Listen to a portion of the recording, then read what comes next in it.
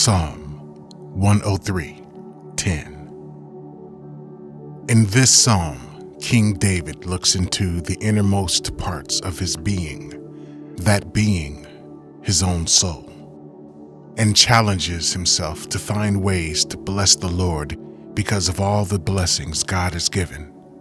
For Christians today, it is very important to understand how rich we are because God has saved us from our sins and has assured us an everlasting life in heaven. For today's message, I want all born again believers to think about heaven and get excited for what is to come in eternity.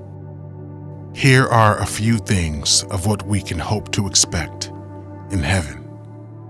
1. In heaven, we will have an answer to separation. We all understand the pain of separation from those we love, and it certainly is not easy. In the book of Acts, Apostle Paul had to say goodbye to the elders from Ephesus, his friends, and people he invested a lot of time into. Acts 20:37. Nevertheless, amidst the sadness of change, believers do not grieve like those who have no hope. Paul teaches us that there will be a future reunion for those who believe that Jesus died and rose again.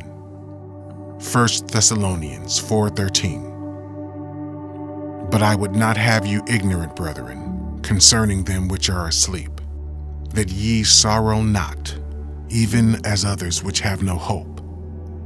For if we believe that Jesus died and rose again, even so them also which sleep in Jesus will God bring with him. Wherefore, comfort one another with these words. 2. We will have an answer to suffering and an invitation to rest. It is clear to any mature person that our world is full of pain, hunger, poverty, disease, and ultimately, death. Jesus knows that each and every person alive today must pass through such a broken world. Jesus offers an invitation that is much welcome to any tired soul. Matthew 11:28. The time to accept Jesus' invitation is only available when we are living. Don't wait for this amazing gift until tomorrow. Enter into God's rest today. You see, in heaven, something wonderful is going to happen. God shall wipe away all tears from our eyes. You will never cry again. You will never be disappointed again. You will never experience heartbreak or betrayal, and God will personally wipe away your tears. Oh, how we all need that. There are people listening to me right now who need that so desperately. They are tired of crying themselves to sleep, but one day God will wipe all your tears away. And there shall be no death, neither sorrow nor crying, neither shall there be any more pain. Just imagine no more pain, no more sickness heaven will one day be our reality. Number three, you see, in heaven we will have peace and harmony forever. In the Garden of Eden, Adam and Eve both lived in peace and harmony with God and as well each other. But not only that, all nature was rejoicing and worshiped God. Even the animals lived peacefully together since there was no need to hunt one another. Genesis 1:30. And to every beast of the earth, and to every fowl of the air, and to everything that creepeth upon the earth, wherein there is life, I have given every green herb for meat. And it was so. But sadly, all this came to an end when Adam and Eve sinned and disturbed the natural order of things. Today, we see that in all human relationships and our relationship with creation. We are in constant fights, and there is never ending conflict. Yet, God assures us that one day, in Isaiah 11:6, the wolf also shall dwell with the lamb, and the leopard shall lie down with the kid, and the calf and the young lion and the fatling together, and a little child shall lead them. On that blessed day, people of every tribe, nation, and language will join together to worship God. Revelation 7 9. Fourthly, there will be a new Genesis, a new beginning. As Christians, we already know the end of the story. We are winners, and we will all make it to heaven after we die and will live forever with God. The Lord on that blessed day will create a new heaven and a new earth as he makes a new beginning, a new Genesis. Revelations 21 1. In the new world, God will welcome his people to live with Him without fear and sin.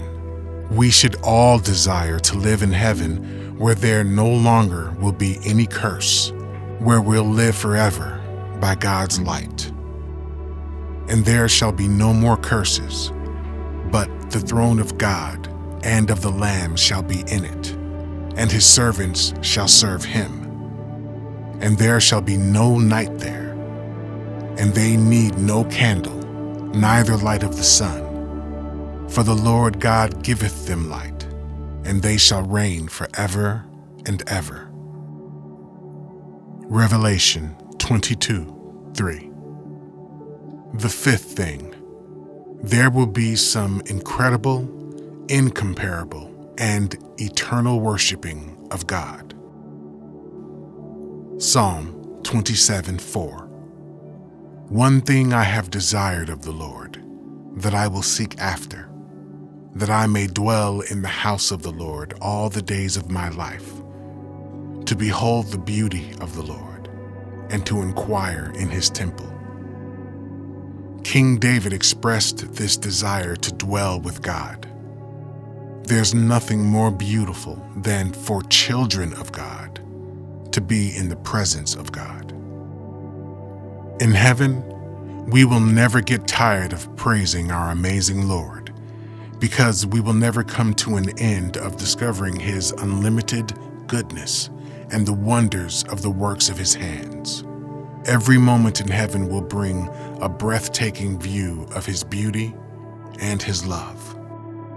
7. There will be treasures and rewards in heaven. It is safe to say that at one point or another, all of us have experienced theft or property loss due to unforeseeable circumstances. For example, it might have been our vehicles were either stolen or crashed, homes are flooded, our personal belongings stolen. Such a dangerous world makes Jesus' statement not to put our trust in earthly treasures very meaningful. Earthly wealth is temporary. Nothing lasts forever. We must focus on acquiring spiritual treasures instead.